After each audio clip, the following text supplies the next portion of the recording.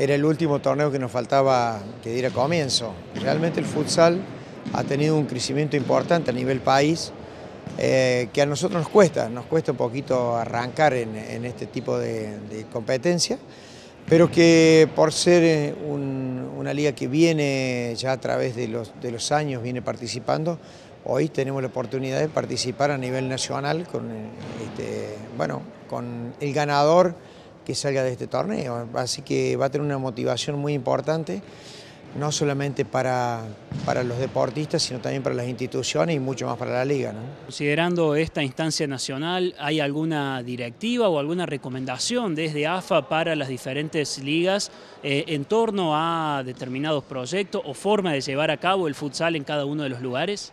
No, no. Eh, siempre la liga es la responsable de organizar el tipo de torneo. Eh, no, se fijan en un, que haya un tipo de torneo eh, tipo, me valga la redundancia, sino este, que sea bueno, un torneo competitivo, que se informe en tiempo y forma, como pasó ya que está informado AFA de este torneo. Y bueno, y después veremos cómo avanza con el transcurso del tiempo, eh, digamos, quién gane, cómo, cómo elabora el proyecto a nivel nacional. ¿no? Más allá del futsal, comentabas, eh, era el único torneo que faltaba eh, de iniciar. ¿Cómo consideras que está marchando este 2018 en el fútbol femenino, fútbol masculino, el infanto juvenil? lo que es Primera A, vemos que es un torneo muy competitivo. El B, que se dividió en zonas, también vemos que es muy atractivo. Fútbol femenino siempre tiene una atracción especial porque tiene, eh, se van sumando equipos, pero bueno, mantienen su vigencia los, equipos que comenzaron esta liga.